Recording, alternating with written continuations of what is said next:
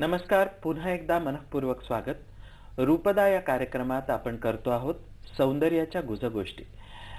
या सौंदर्याच्या गुजगोष्टी करत असताना तुमच्या मनातले अनेक प्रश्न हे सतत येणारे प्रश्न आपल्याशी चर्चा करणं आवश्यक असतं. आणि म्हणून या प्रश्नांविषयी चर्चा करायला आज आपल्याबरोबर आहे मधुरा. मधुरा नमस्कार. नमस्कार. सर आज खरंच तुम्ही आलात आणि नक्कीच जे प्रेक्षकांच्या मनात प्रश्न असतात ते आज मी तुमच्यापुढे मांडणार आहे. आणि आजचा आपला विषय आहे खरं तर केसांची निगा आणि त्या टाळूची निगा कशी राखायची याबद्दल. मात्र मला पहिला प्रश्न असा तुम्हाला विचारावा असं वाटतो की खरंच केस आणि टाळू ह्याचे वेगवेगळे प्रकार असतात का हो? हो मधुरा. आज आपण कार्यक्रमाला या फार चांगल्या प्रश्नाने सुरुवात करतो आहोत. की सर्वसामान्यपणे असं होतं की टीव्ही वरती एखादी ऍडव्हर्टाईज दिली जाते. आणि त्या ऍडव्हर्टाईजमध्ये बघून त्यात शॅम्पू किंवा एखादा केसांचं प्रॉडक्ट असतं. शॅम्पूच घेतला तर पहा की त्या शॅम्पू बद्दल अनेक गोष्टी सांगितल्या जातात. की हा शॅम्पू असा आहे आणि केस सिल्की होतात. मग तुमचे केस अगदी त्या मॉडेल सारखे दिसतात वगैरे सगळं मांडलं जातं. आणि मग तो जाहिरात बघून शॅम्पू विकत आणला जातो आणि घरी वापरला जातो. आणि वापरल्यानंतर खूपदा असं लक्षात येतं की काहींना तो सूट होतोय तर काहींना सूट होत नाही. नक्कीच आणि हे ज्या वेळेला असं घडतं तेव्हा त्याचं महत्वाचं कारण असं असतं. की आपले केस आणि आपली टाळू ही कशी आहे हे न बघता हे न समजता ज्या वेळेला असा शॅम्पू किंवा तसं प्रॉडक्ट आणलं जातं त्यावेळेला केसांवर त्याचा नेमका काय परिणाम होणार आहे हे माहिती नसतं. बरोबर. आणि मग खूपदा तो शॅम्पू आपल्याला सूट होत नाही. आणि मग लोकांच्या मनामध्ये असा प्रश्न भरला जातो की नियमित शॅम्पू बदलले जाहिराती बघून शॅम्पू वेगवेगळे घेतले की केस गळतात. हं. तर मला प्रामाणिकपणे असं वाटतं की केस गळण्याचं कारण म्हणजे शॅम्पू बदलणं नव्हे तर आपले केस आणि आपली टाळू यांना पूरक असा तो शॅम्पू नसल्यामुळे किंवा तो तुम्हाला सूट करत नाही. म्हणून तुमचे केस गळत असतात.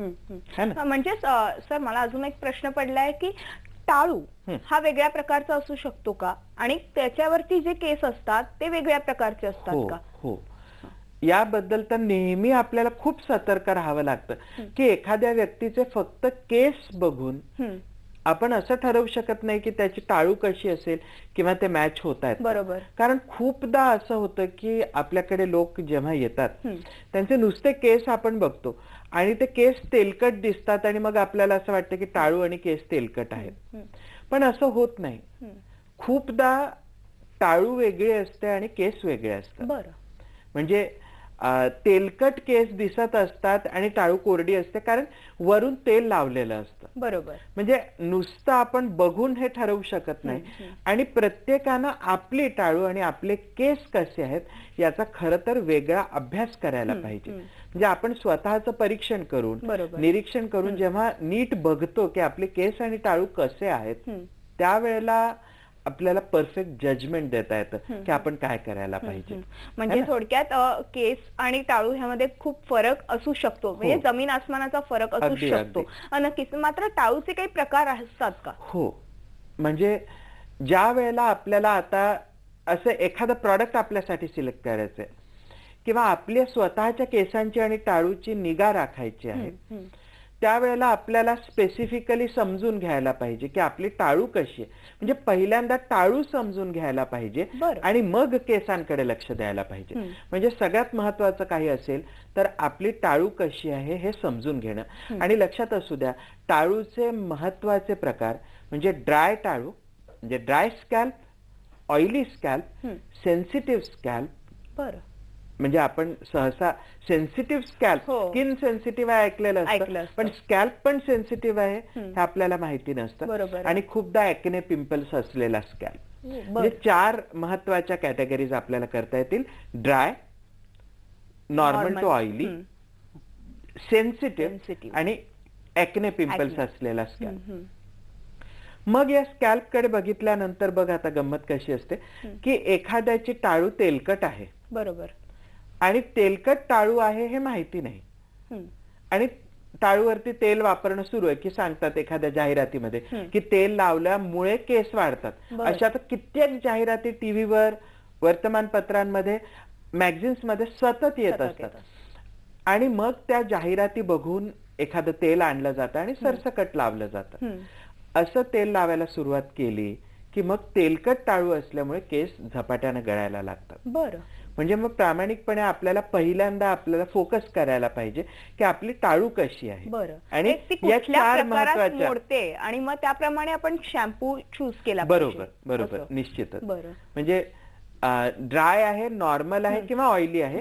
हे बघून मग आपण ठरवायला पाहिजे की आपली टाळू कशी आहे आणि त्यानुसार आपण कुठलं कॉस्मेटिक प्रॉडक्ट वापरायला पाहिजे. म्हणजे नुसतं केवळ केस आपले कोरडे आहेत किंवा केस सिल्की आहेत त्याच्याप्रमाणे शॅम्पू न वापरता स्कॅल्प कुठल्या प्रकारचा आहे हे देखील आपण पडताळून बघून मग त्याच्याप्रमाणे. शॅम्पू वापरायला पाहिजे. नक्कीच. मात्र ड्राय स्कॅल्पबद्दल बोलायचं झालं तर तुम्ही काय सांगाल की त्या कुठल्या प्रकारचे शॅम्पूज किंवा कुठल्या प्रकारची निगा घेतली पाहिजे? म्हणजे जरी आपण असं ड्राय नॉर्मल ऑइली सेन्सिटिव्ह वगैरे शब्द वापरत असलो तरी सर्वसामान्यपणे जेव्हा आपण टाळू बघतो तेव्हा ती टाळू कशी आहे हा एक महत्त्वाचा प्रश्न राहतोच. आणि मग आपली टाळू नेमकी ड्राय आहे की ऑइली आहे. हे समजून घेताना पहिल्यांदा ड्राय टाळू कशी असते स्कॅल्प कशी असते हे समजून घ्यायला पाहिजे. म्हणजे ड्राय स्कॅल्पच्या बाबतीत सगळ्यात महत्त्वाचा प्रॉब्लेम काय आहे? तर टाळूवरच्या सिबेशियस ग्लँड्स ऍक्टिव्ह नसतात. बरं. आणि मग ज्या प्रमाणात सीबम. तयार व्हायला पाहिजे स्कॅल्पवर तेवढं तयार होत नाही. बरं. आणि ही ड्राय स्कॅल्पची समस्या स्पेसिफिकली आपल्याला लहान मुलांमध्ये दिसून येते. हं. जे लहान मुलांचे शॅम्पू वेगळे आणि मोठ्यांचे शॅम्पू वेगळे यात फरक काय आहे तर एक महत्त्वाचा फरक असा की लहानपणी टाळूवरती सिबेशियस ग्लँड्स ऍक्टिव्ह नसतात. त्यामुळे काय होतं की टाळू कोरडी असते बरोबर तिथे सीबम नाही तेल नाही. त्यामुळे टाळूमध्ये मॉइश्चर धरून ठेवण्याची कपॅसिटी पण नाही. मग काय होतं अशा केसेसमध्ये की स्कॅल्प वरती तेला तेलाचा थर नसल्यामुळे तिथलं मॉइश्चरही निघून जातं. आणि कोरडेपणा जाणवतो. लहान मुलांचे केस पहा आपल्याला खूपदा असे कोरडे जाणवतात आणि त्यांना रोज तेल लावलं तरी रोज ते कोरडे होतात. बरोबर बरोबर. पण तशीच गोष्ट आपल्याला मोठ्यांच्या बाबतीत दिसत नाही. मोठ्यांच्या बाबतीत आपल्याला कळतं की तेल लावल्यानंतर त्यांचे केस तेलकट होतात. तेच तेल तोंडावर उतरतं आणि तोंड पण तेलकट होतं. ऍक्नेज येतात तो हो. चेहऱ्यावरती तेल लावल्यामुळे पण याच्यामध्ये महत्वाची गोष्ट अशी की या मोठ्यांची टाळू तेलकट आहे बरं आणि ही तेलकट टाळू असल्यामुळे या समस्या उद्भवत आहेत. लहान मुलांमध्ये टाळू तशी नाही. म्हणजे एजिंगमध्ये येताना तरुण वयात एखादा मुलगा किंवा मुलगी जसं पदार्पण करतो तेव्हा सगळ्यात महत्त्वाचा बदल घडत असतो तो टाळूमध्ये. टाळूवरच्या सिबेशियस ग्लॅन. ऍक्टिव्ह होतात. आणि तिथे सीबम सिक्रिशन सुरू झाल्यामुळे टाळू तेलकट व्हायला. लागते. म्हणजे एक असं आपल्याला लँडमार्क टाकता येईल. की नमस्कार पुन्हा एकदा मनपूर्वक स्वागत आपण करतो आहोत सौंदर्याच्या गुजगोष्टी रूपदा या कार्यक्रमात मी राहुल फाटे आज चर्चा करतो आहे मधुरा बरोबर मधुरा तुझ्या मनात आता ड्राय स्कॅल्पबद्दल पाहिलं. त्याच्या पुढचे काय प्रश्न आहेत लोकांच्या मनात? सर खरं तर आता आपण मगाशी ड्राय स्कॅल्पबद्दल सांगितलं. मात्र ऑइली स्कॅल्प देखील बऱ्याच लोकांच्या पाहायला मिळतो. मग अशा वेळेस त्यांनी कुठल्या प्रकारची काळजी घ्यायला हवी आणि त्यांच्यासाठी काय तुम्ही सजेशन्स द्याल? बरोबर. सगळ्यात मोठा प्रॉब्लेम म्हणजे ऑइली स्कॅल्प आणि एकदा तरुण वयात आल्यानंतर नव्वद टक्के लोकांची स्कॅल्प ऑइली असते. पण असं माहिती नसतं कारण केस कोरडे असतात. आणि खूपदा आपले केस कोरडे आहेत म्हणून टाळू पण कोरडी आहे असा समज डोक्यामध्ये असतो. पण ज्या वेळेला टाळू तेलकट असते त्यावेळेला अनेक साऱ्या समस्यांना लोकांना समोर जावं लागतं. म्हणजे केस गळणं जास्त असतं डॅन्ड्रफ जास्त असतो किंवा सेबॉरिक चिकट कोंडा डोक्यामध्ये असतो असे प्रकार तेलकट टाळूमध्ये नियमित घडू शकतात. पाहायला मिळतात. आणि मग तेलकट जर टाळू असेल तर तिची स्पेसिफिक आपल्याला काळजी घ्यावी लागते. म्हणजे साधारणपणे सेन्सिटिव्ह किंवा ड्राय केसांसाठीचा शॅम्पू जर तेलकट टाळूवरती वापरला तर लोकांचे केस गळायला लागतात. बरोबर. आणि म्हणून मग मला स्पेसिफिकली सांगावंसं वाटतं की तुमचे केस गळायला लागले असतील तर पहिल्यांदा शॅम्पू कुठला वापरताय ते बघा. शॅम्पू वापरत असताना ड्राय केसांचा किंवा सेन्सिटिव्ह केसांचा शॅम्पू तुम्ही वापरत असाल तर त्याच्यामध्ये असलेल्या मॉइश्चरायझिंग फॅक्टर्समुळे तुमचं केस गळणं आणखीन वाढू शकतं. बरं. म्हणजे तेलकट टाळू आहे हे जेव्हा कळतं तेव्हा पहिला फोकस द्या तो शॅम्पू वरती. बरोबर. आणि म्हणून मला असं आपल्या products कडे जर पाहिलं मधुरा तर आपण कॅटेगरीजच केलेल्या आहे. लोकांना कन्फ्युजनच नको. बरोबर. कोरडे टाळू आणि केस आहे का? सेन्सिक्युअर शॅम्पू बरं. तुमचं केस तेलकट आहेत टाळू तेलकट आहेत आणि केस लिंप झालेले आहेत. आणि असे फ्लॅट तेलकट दिसत आहेत. म्हणजे व्हॉल्यूम गेलेला आहे बरोबर तर मग अशा तेलकट टाळूसाठी आपल्याकडे शॅम्पू आहे तो म्हणजे व्हॉल्यूम केअर शॅम्पू. म्हणजे आपण अशा कॅटेगरीज केल्यामुळे लोकांना एक तर ते फार सोपं जातं आणि त्याच्यामुळे केस मेंटेन करणं सोपं जात असतं.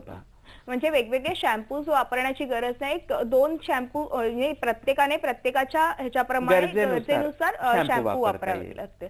तसंच मगाशी तुम्ही सर म्हणालात की कधी कधी टाळू हा कोरडा असतो आणि केस मात्र तेलकट असतात. असं खरंच असू शकतं का हो? हो. म्हणजे हे तर असू शकतं की टाळू कोरडी आहे आणि ते केस तेलकट आहे. कारण काय करतात कोरडी टाळू आहे म्हणून सरळ तेल घ्यायचं हाताला चोळायचं आणि केसांना लावायचं. बरोबर. मग ते तेल टाळूला लावल्या जात नाही टाळू कोरडीच राहते आणि केस तेलकट होत जातात. पण त्यापेक्षाही महत्वाची समस्या अशी असते. की टाळू तेलकट असते आणि केस कोरडे असतात हं. एवढी प्रचंड मोठी समस्या आहे की याच्यामुळे केस गळण्याचं प्रमाण सगळ्यात जास्त आहे. म्हणजे घडतं काय पहा. की सहसा केसांच्या मुळाशी सिबेशियस ग्लँड्स हं. तेल सिक्रिट करत असतात हं. हे सीबम म्हणजे टाळूवरचं तेल खरं पाहता आपोआप केसांवर पसरायला पाहिजे बरोबर परंतु ज्या वेळेला आपण हार्श शॅम्पू किंवा चुकीचे शॅम्पू वापरत असतो किंवा खूपदा रिबॉन्डिंग करतो आपण केसांना केमिकली ट्रीट करतो. त्यावेळेला केसांचा मूळ प्रकार बदलतो. आणि परिणाम स्वरूप टाळूवरती तयार होणारं सीबम म्हणजे तेल. केसांवर पसरत नाही बरं मग काय घडतं तर ज्या वेळेला टाळूवर साचणारं सीबम केसांवर पसरत नाही. तेव्हा ते टाळूवरच साचायला लागतं. आणि परिणामी टाळू तेलकट राहते.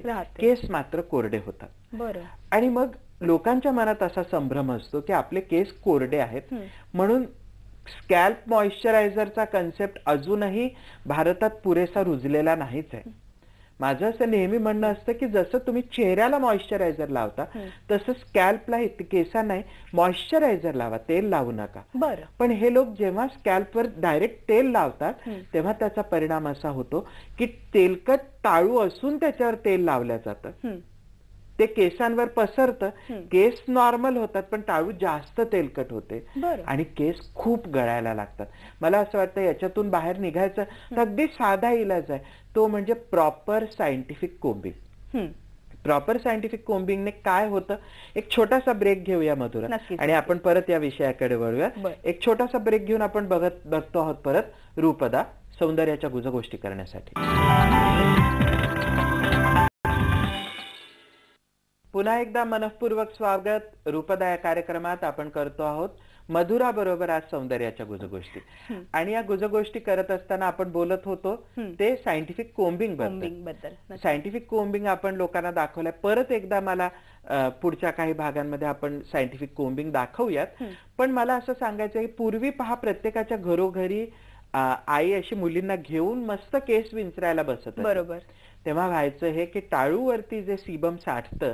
ते कोम्बिंग केलं की बरोबर कंगव्याने पूर्ण केसांवर पसरत असे. आणि म्हणून टाळू जर तेलकट असेल आणि केस कोरडे असतील. तर केसांना तेल लावण्याऐवजी सायंटिफिक कोम्बिंग जर तुम्ही केलं. तर तुम्हाला त्याचे जास्त चांगले परिणाम दिसू शकतात आणि म्हणून मधुरा. तेलकट टाळू असेल तर तेल लावू नका सायंटिफिक कोम्बिंग कोम्बिंग करा. आणि तेलकट टाळूचा शॅम्पू वापरा. बरोबर तुमचे केस नॉर्मलाइज व्हायला लागतात. तसंच सर आता बरेचसे लोक आता जाहिराती बघून तुम्ही म्हणालात की शॅम्पू विकत घेतात आणि ते लावतात आणि त्याच्यानंतर बऱ्याच लोकांना वेगवेगळ्या समस्या देखील उद्भवतात. मात्र खरोखर खरोखर असं आहे का? केमिकल डॅमेज हेअर जे आता मी ऐकते बऱ्याच लोकांकडनं खरंच केमिकल्समुळे हेअर डॅमेज होतात हो हो निश्चितच.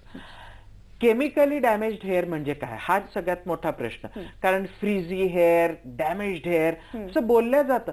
पण सर्वसामान्य व्यक्तीला ते लक्षात येत नाही की नेमकं आपल्याला बाबतीत याचं काय घडतंय हं. तर केमिकली डॅमेज्ड म्हणजे काय तर एक लक्षात असू द्या की नुसतं रिबॉन्डिंग पर्मिंग किंवा केसांची ट्रीटमेंट केल्यामुळेच केस केमिकली डॅमेज होतात हं. हे खरं नाहीये हं. साधे कलर्स वापरून चुकीचे कलर्स वापरून किंवा खूपदा चुकीचा शॅम्पू वापरल्यामुळेही केस केमिकली डॅमेज कारण शॅम्पू शेवटी केमिकल आहे केमिकलमध्ये आणि. ते अयोग्य प्रकारचं वापरलं गेलं तर तुमचे केस डॅमेज होऊच शकतात. म्हणजे नेमकं काय घडतं. तर महत्वाची गोष्ट अशी की केसांचा पीएच बराच ऍसिडिक आहे.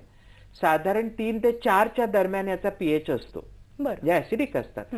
आणि अल्कलाईन शॅम्पूज किंवा अगदी साधारण शॅम्पूज जेव्हा वापरले जातात. तेव्हा हा पीएच डिस्टर्ब होतो.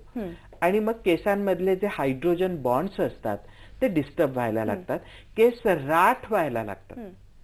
Basically chemically damage. म्हणजे काय. तर राठ हाताला हात लावल्यानंतर असे रफ. डॅमेज्ड जे वाटायला लागतात ते खरे केमिकली डॅमेज्ड केस आणि इथे प्रामाणिकपणे मला असं वाटतं की केस जर केमिकली डॅमेज्ड असतील तर दोन गोष्टींचा विचार करायला पाहिजे की आपली टाळू तेलकट आहे की कोरडी कोरडी. आणि मग केस डॅमेज्ड आहेत बरं पहिली गोष्ट म्हणजे टाळू जर तेलकट असेल आणि तुम्ही नुसते केस डॅमेज्ड आहेत. म्हणून मॉइश्चराइज शॅम्पू वापरत असलात तर तुमचे केस आणखीन गळतील बरं मधुरा मला असं वाटतं प्रामाणिकपणे की आपल्या क्लिनिक्समध्ये आपण नुसते केस आणि टाळू ओळखायसाठी तर फ्री कन्सल्टन्सी देत असतो म्हणजे. तिथे लोकांना चार्ज करत नाहीत. तर असे लोक जर आपल्या क्लिनिकमध्ये गेले. तर आमच्या असिस्टंट्सना आम्ही एवढं सुंदर ट्रेनिंग. म्हणजे तेवढा थोडासा आपल्यासाठी आपल्याला वेळ खर्ची. घालावा लागेल. आणि क्लिनिकमध्ये आल्यानंतर त्यांचे केस त्यांचं स्कॅल्प अनालाइज. करून आपण त्यांना सांगू शकतो की तुम्ही शॅम्पू कुठला वापरा. कंडिशनर्स कुठले वापरा. आणि काय वापरले की तुमचे केस बॅलन्स्ड राहतील मेंटेन होतील, राहतील. म्हणजे बघ मागच्या वेळेला तुझीच समस्या होती. की माझे केस असे खूप सिल्की आहेत आणि ते लिंब. बसतात. आज कार्यक्रमामध्ये लोकांना दिसत असेल की. केस किती छान बसले की फक्त व्हॉल्यूम केअर शॅम्पू वापरल्यामुळे तो केसांचा लिंब जो प्रकार होता तो गेला. आणि आता शाईन आणि ग्लो यायला लागली हो. तर अशा प्रकारचं मार्गदर्शन आपण आपल्या क्लिनिकमध्ये करतो. लोकांना निश्चित करू शकतो? तसंच अजून एक एका प्रेक्षकांचा आपल्याला म्हणजे मेल आला होता की की त्यांना असं म्हणायचं होतं की केवळ शॅम्पू वापरून केसांची काळजी घेता येते का हो कारण की बऱ्याच लोकांची हा प्रश्न आहेच. डोक्यात एक भरलेलं आहे की जाहिरात बघितली की हा नवीन शॅम्पू आलाय मार्केटमध्ये आपण हा घेऊन येऊया आणि आपण केस धुवून बघूया आपले. हो. तर या सगळ्या जो आपण उहापोहा आज केला केस आणि टाळू याची निगा कशी राखायची यात सगळ्यात महत्वाचं स्थान कुठे असेल तर शॅम्पूला आहे. कारण बघ काय होतं ज्या लोकांची टाळू तेलकट असते. त्यांना तेलकट टाळूमुळे खूप समस्यांना समोर जावं लागतं. त्यांनी स्पेसिफिकली शॅम्पू निवडताना खूपच काळजी घ्यायला पाहिजे. म्हणजे माझं तर असं प्रामाणिक मत आहे की व्हॉल्यूम केअर एकदा व्हॉल्यूम केअर शॅम्पू वापरायला लागले आपला. की लोक दुसरा कुठला शॅम्पू वापरूच शकत नाही कारण त्या शॅम्पूमुळे त्यांची टाळू आणि केस बॅलन्स व्हायला लागतात. केमिकली डॅमेज्ड असले तर आपल्याकडे हायड्रोक्युअर शॅम्पू जो आहे. हा पूर्ण टाळूचं आणि केसांचं बॅलन्सिंगच करायला लागतो बरं की असं होणार नाही की मग तुमची टाळू इम्बॅलन्स झाली ती तेलकटच होऊन गेली केसच गळायला लागले.